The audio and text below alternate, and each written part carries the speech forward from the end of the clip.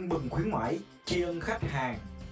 Chương trình khuyến mãi kéo dài từ ngày 10 tháng 8 năm 2022 đến hết ngày 10 tháng 1 năm 2023. Chương trình áp dụng cho tất cả các khách hàng ký hợp đồng trong khoảng thời gian này tặng 100% chi phí xin phép xây dựng trị giá 20 triệu đồng, chi phí thiết kế trị giá 60 triệu đồng, chi phí pháp lý trong suốt quá trình thi công trị giá 10 triệu đồng và đặc biệt tặng tủ kệ bếp trị giá 20 triệu đồng. Ngoài ra đối với 20 khách hàng đầu tiên ký hợp đồng trong thời gian này sẽ được tặng một phiếu rút thăm trúng thưởng với những phần quà cực kỳ hấp dẫn. Dễ nhất là một xe máy Honda Airblade trị giá 60 triệu đồng hai giải nhì, mỗi giải một bộ sofa phòng khách trị giá 20 triệu đồng 5 giải ba, mỗi giải một bộ bàn ăn phòng bếp trị giá 12 triệu đồng. Phần rút thăm trúng thưởng sẽ được bốc thăm và trao giải vào buổi lễ tất niên của công ty và không quy ra tiền mặt.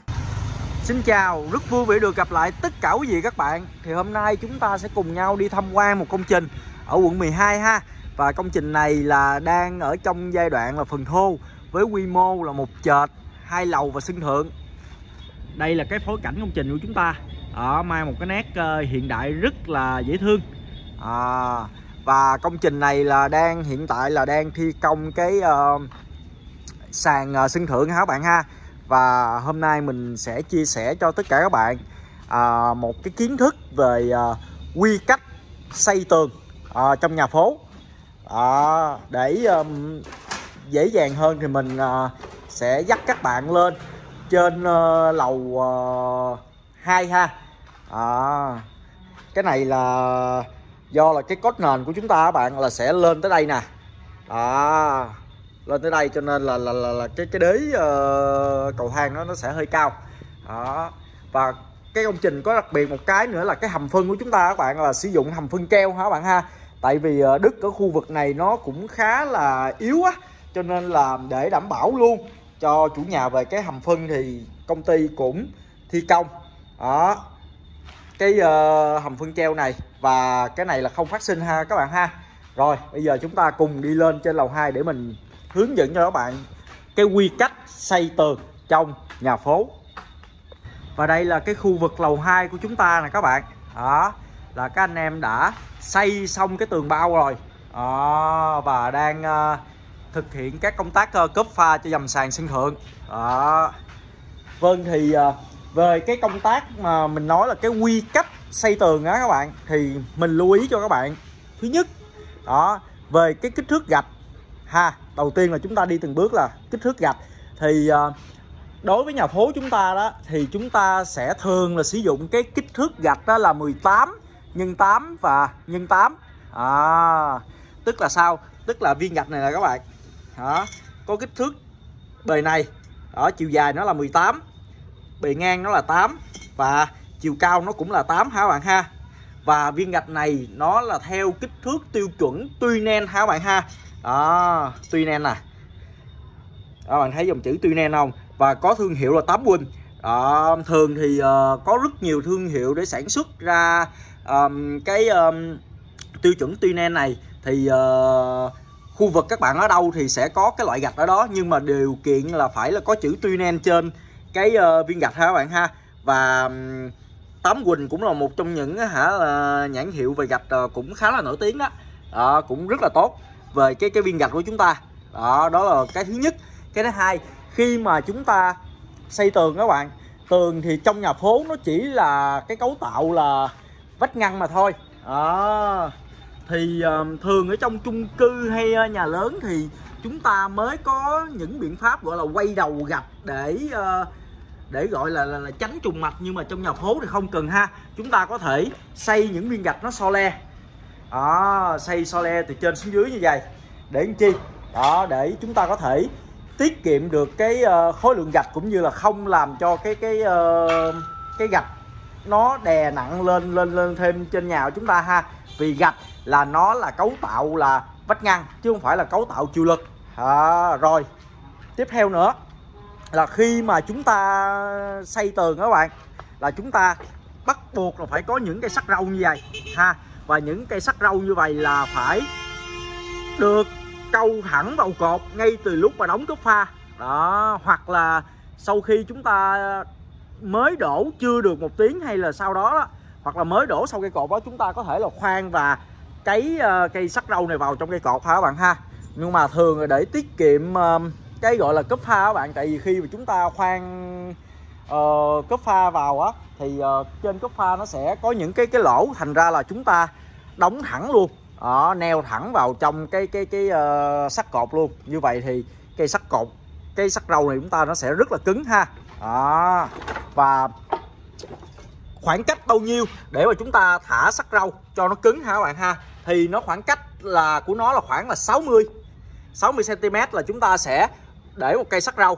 À, ví dụ ở đây là chắc chắn mặt tiền là phải có ờ, uh, sắt rau rồi. Rồi ở đây cũng vậy ha các bạn ha.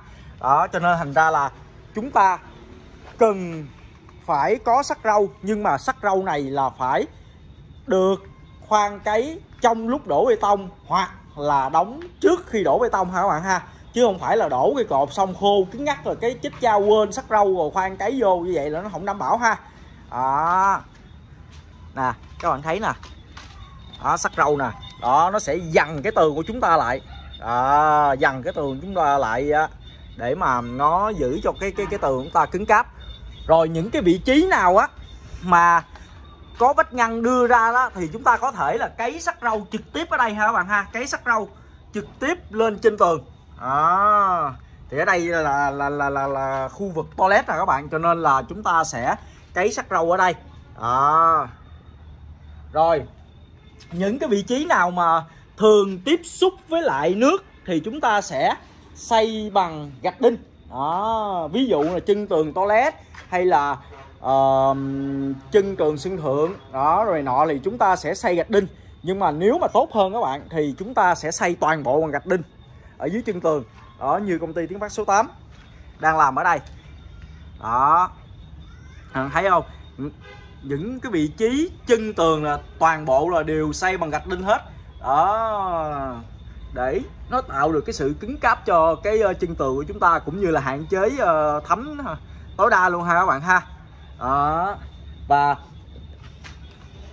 khi mà chúng ta xây tường bao xung quanh trước như vậy là các bạn thì trên cái cái cái cái cái đầu tường á đó nó sẽ là những cái uh, viên gạch được xây thẳng thớm. Đó và khi mà bê tông của chúng ta đó nó nó nó nó, nó được đổ vô quá tại vì trên cái cái cái đầu tường của chúng ta nó giống như là là là, là một cái ờ, cấp pha bê tông luôn.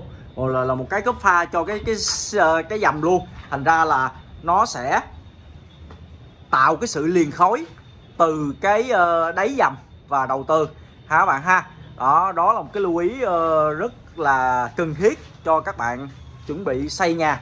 À rồi thêm nữa là để khi mà chúng ta xây được cái tường nó thẳng thớm ở nhà mà chúng ta nó không không bị cong cong quẹo quẹo thì đầu tiên là chúng ta phải búng mực chân tường ha các bạn ha đó búng mực trên tường xong rồi sau đó khi mà xây ở đâu thì chúng ta phải căng dây xây ở đó giống như ngay ngay ngay cái uh, cầu thang ở đây cái đoạn xéo này các bạn thấy các anh thợ căng dây không à, để mà thực hiện được cái đoạn xéo này rất là tốt luôn đó. đây là là là cái khoảng chừa để mà chúng ta đặt ờ, một cái đà cầu thang lên các bạn đó có như vậy thì cái ngôi nhà chúng ta nó sẽ vừa đạt được thẩm mỹ nè chất lượng nó lại tốt ha các bạn ha. Rồi còn mấy cái lỗ mà này á, hay là bên kia các bạn đó là những cái lỗ mà sau này mà các anh em ờ, đưa ra đến sông á là, là, là tạo một cái cái cái lỗ để uh, chui ra vách sông. À. rồi ngay tại vị trí này cũng vậy nè các bạn. À, các bạn thấy ngay cái cái cái đố cửa này ha. Nó đâu có được xây so le giống như mấy cái này đâu đó mà tại sao phải hai viên lên rồi hai viên dọc như vậy? Đó đây là một cái kiểu xây khác để mà làm cái đố cửa cho nó chắc chắn ha các bạn ha. Đó, các bạn lưu ý như vậy. Đó, để mà ngay cái cái đố cửa nhỏ của chúng ta đó, nó được cái gọi là cái sự chắc chắn tốt nhất ha các bạn ha.